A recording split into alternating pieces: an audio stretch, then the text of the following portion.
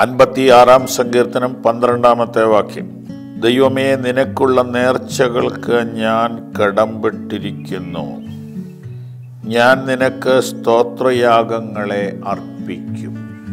ദൂരസ്ഥന്മാരുടെ ഇടയിൽ മിണ്ടാപ്രാണിയെ പോലെ സങ്കടങ്ങളും ഭയവും നിരാശയും ഹൃദയത്തിൽ അടിഞ്ഞുകൂടിയപ്പോൾ ദൈവത്തിന്റെ സന്നിധിയിലേക്ക് ഓടിച്ചെന്ന് അഭയം പ്രാപിച്ച സമയത്ത് ഒരു മനുഷ്യന്റെ മനസ്സിലൂടെ ദൈവം അടുത്ത തലമുറയ്ക്ക് വേണ്ടി പകർന്നു നൽകിയ സംഗീതമാണ് അമ്പത്തിയാറാം സങ്കീർത്തനം.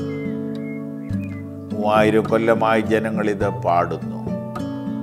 ഇന്നും ദൂരസ്ഥന്മാരുടെ ഇടയിൽ മിണ്ടാപ്രാവ് പോലെ നീതി ലഭിക്കാതെ ദുഃഖത്തിലും സങ്കടത്തിലും പീഡനത്തിലും വിഷമത്തിലും ഭയത്തിലും നിരാശയിലും പ്രതിസന്ധിയിലും കടന്നു പോകുന്ന ഏതൊരു ദൈവവിശ്വാസിക്കും ആശ്രയിക്കാൻ ഏറ്റുപാടാൻ ഈ പാട്ട് മനോഹരമാണ്.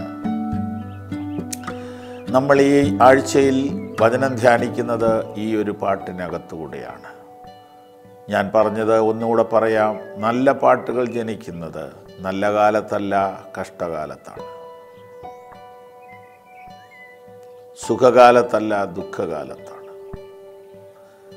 തൊണ്ണൂറാം സങ്കീർത്തനത്തിന്റെ ചരിത്രം പറയുന്നത് സഹോദരന്റെ മരണസമയത്ത് അത് രചിച്ചു എന്നാണ്. മുപ്പത്തിനാലാം സങ്കീർത്തനത്തിന്റെ ചരിത്രം പറയുന്നത് അതികഠിന മനോവേദനയുടെ നടുവിൽ അത് രചിച്ചു എന്നാണ്.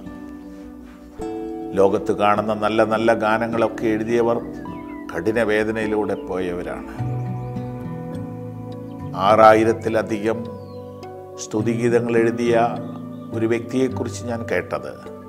വളരെ ചെറുപ്പത്തിലെ കണ്ണന്റെ കാഴ്ച നഷ്ടപ്പെട്ടു പോയ ഒരു സ്ത്രീയാണ് ഒരു വ്യക്തിയാണ്.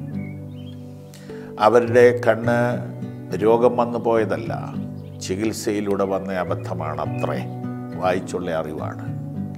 അങ്ങനെയാണെങ്കിൽ ആ ചികിത്സ ചെയ്ത ആളെ ശപിക്കുകയല്ലേ ചെയ്യേണ്ടത്? അല്ല സ്തുതിഗീതങ്ങൾ കൊണ്ട് ജീവിതം സമ്പന്നമാക്കിയ ഒരു വ്യക്തിയെക്കുറിച്ച് വായിച്ചിട്ടുണ്ട്. ഇവിടെ ഇതാ മനോവേദനയുടെ നടുവിൽ എഴുതിയ ഒരു ഗാനം മൂവായിരം കൊല്ലത്തിന് ശേഷം നമ്മൾ പാടുന്നു. ആ പാട്ടിതാണ്. ആ പാട്ടിൽ നമ്മൾ ഇന്ന് പല എപ്പിസോഡുകൾ ധ്യാനിച്ചു. വാക്യം പന്ത്രണ്ട്. ദൈവമേ നിനക്കുള്ള നേർച്ചകൾക്ക് ഞാൻ കടംപെട്ടിരിക്കുന്നു വലിയ സങ്കടവുമായി വലിയ ആവശ്യവുമായി പരാതിയുമായി ദൈവസനിൽ വന്ന മനുഷ്യൻ ഇപ്പോൾ പറയുകയാണ് ഞാൻ കടക്കാരനാണ്. ആരോട്? ദൈവത്തോട്. ഇതാണ് സത്യം. നമ്മുടെ ഭാരങ്ങൾ നമ്മെ ദൈവസനയിലോട്ട് എത്തിക്കും ദൈവസനയിൽ ചെല്ലുമ്പോൾ നമ്മുടെ പരാതികൾ അവസാനിക്കും. നമ്മുടെ സങ്കടങ്ങൾ അവസാനിക്കും.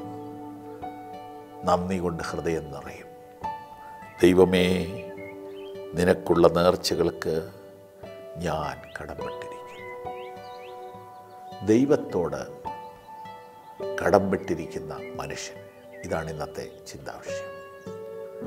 ദൈവത്തോട് കടംപെട്ടിരിക്കുന്ന മനുഷ്യൻ. ഈ സന്ദേശം ശ്രദ്ധിക്കുന്ന നിങ്ങൾ ദൈവത്തോട് കടംപെട്ടിരിക്കുന്ന വ്യക്തിയാണെന്ന് നിങ്ങൾ സമ്മതിക്കുമോ നിങ്ങൾ സമ്മതിച്ചാലും ഇല്ലെങ്കിലും നിങ്ങൾ ദൈവത്തോട് കടംപെട്ടിരിക്കുന്നു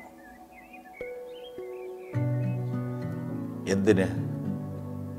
ഈ ജീവന് നിങ്ങൾ കടംപെട്ടിരിക്കുന്നു ഈ ജീവിതത്തിന് നിങ്ങൾ കടംപെട്ടിരിക്കുന്നു ഈ ആയുസ്സിന് നിങ്ങൾ കടംപെട്ടിരിക്കുന്നു ഈ ആരോഗ്യത്തിന് നിങ്ങൾ കടംപെട്ടിരിക്കുന്നു ഈ ഓക്സിജന് നിങ്ങൾ കടംപെട്ടിരിക്കുന്നു നിങ്ങൾ ഈ രാജ്യത്തെ നമ്പർ വൺ കോടീശ്വരന്മാരിൽ ഒരാളായി തീരട്ടെ. തീർന്ന ശേഷം ഓക്സിജൻ സ്വന്തമായി ഉൽപ്പാദിപ്പിച്ച് ജീവിക്കാൻ പറ്റുമോ? രണ്ട് ഇലക്ട്രിസിറ്റി ഉണ്ട്. പക്ഷേ സൂര്യപ്രകാശം ഇല്ലാതെ ജീവിക്കാൻ പറ്റുമോ? ഓക്സിജൻ ഇല്ലാതെ ജീവിക്കാൻ പറ്റുമോ? സൂര്യപ്രകാശം ഇല്ലാതെ ജീവിക്കാൻ പറ്റുമോ? ഒന്ന് രണ്ടെണ്ണം പറഞ്ഞതേ ഉള്ളൂ. ദൈവമേ ഞാൻ നിന്നോട് കടപ്പെട്ടിരിക്കുന്നു. മനുഷ്യൻ ദൈവത്തോട് കടപ്പെട്ടിരിക്കുന്നു. പക്ഷേ മനുഷ്യനത് അറിയുന്നില്ല. മനുഷ്യനത് സമ്മതിക്കുന്നില്ല. നിങ്ങൾ അനുഗ്രഹിക്കപ്പെടണമെങ്കിൽ പരാതികളുടെ പുസ്തകം അടച്ചു വെച്ചിട്ട് നന്ദിയുടെ പുസ്തകം തുറക്കണം. ദൈവമേ ഞാൻ നിന്നോട് കടപ്പെട്ടിരിക്കുന്നു. അതെ നന്ദിയുള്ള ഒരു ക്രിസ്തീയ ജീവിതം നയിക്കാൻ ദൈവം നമ്മെ സഹായിക്കട്ടെ. ഈ സന്ദേശങ്ങൾ തുടർച്ചയായി നിങ്ങൾക്ക് ലഭിക്കുവാൻ ഞങ്ങളുടെ വാട്സപ്പും ഫേസ്ബുക്കും ഫോളോ ചെയ്യുക.